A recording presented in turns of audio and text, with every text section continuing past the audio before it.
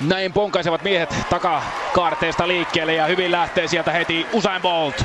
Pitkä mies tulee, hyvin tulee myöskin portugalimies ja hyvin tulee myöskin Tyson Gay, joka tällä hetkellä viisi tulee johto paikalla. Tulee voimakkaasti. Tyson Gay ottaa tätä juoksua tällä hetkellä. Ulkoradalta tulee myöskin erittäin hyvin Xavier Carter. Nouseeko Carter? Kyllä nousee tämä juoksun yllätysvoittaja. Nyt, nyt alkaa sveitsiläinen Omegakin jo pettää. Ei tämä voi olla.